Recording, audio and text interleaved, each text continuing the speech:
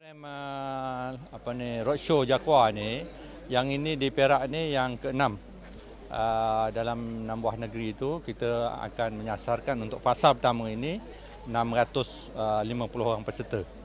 Dan uh, untuk fasa dua kita target lagi uh, 750 kita anggap 1500 untuk dua dua fasa. Dan kita menyediakan untuk fasa pertama ini uh, 16 kemahiran ya, antaranya pramusaji, otomotif, uh, KD, uh, kecantikan, dananan, uh, kemudian ada keselamatan. Ya. Dan tadi saya jumpa pelajar bagaimana dengan kelulusan darjah 5 boleh bekerja starting 900, 3 bulan confirm dah dapat uh, 1300. Ini melihatkan bahawa dia pun tamat darjah darjah 5. Maka kita lihat bahawa peluang kerjaya untuk pelajar beliau orang asli yang kececeran, yang kedaifan di pendalaman, inilah peluang untuk uh, dia mengubah hidup. Kita akan bagi dia latihan, training uh, selama 3 hingga 4 bulan. Selepas itu kita buat penempatan kerja wajib bagi dia bekerja uh, sehingga 6 bulan. Selepas itu kalau kerja itu sesuai dia akan continuous dan biasanya tak ada masalah. Dan walaupun dalam uh, yang, yang kita latih ini Uh, telah 70% ya lebih kurang 3500 uh, orang lebih yang kita telah latih.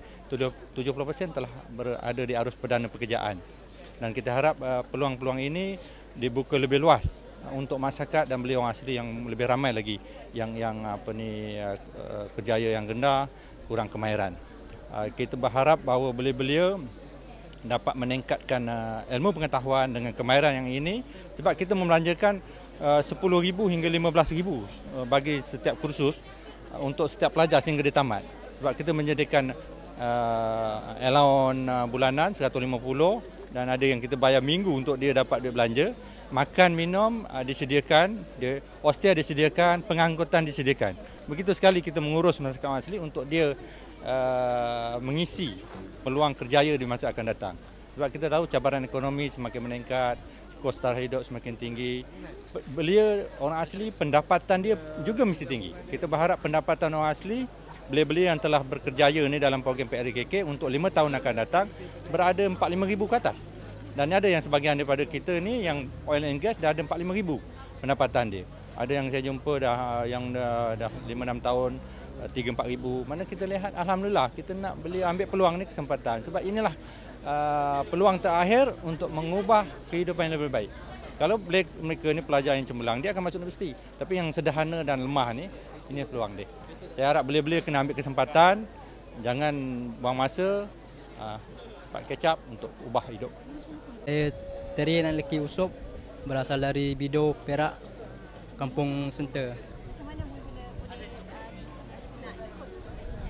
Uh, ada seorang akak Ah, pelawar saya sertai upskill. Lepas tu saya ikut uh, bagi apa IC nom nombor telefon.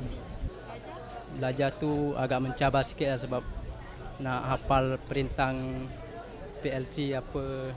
Mula-mula tu memang agak mencabar lah sebab tak tahu benda nak buat. Uh, lepas tu belajar-belajar boleh buat sikit-sikit lah. Pihak kolej tolong carikan kerja untuk pelatih-pelatih dia. Uh, practical dalam 6 bulan juga, kira setahun juga. Sekarang ni dah habis practical lah, uh, kerja kat Penang.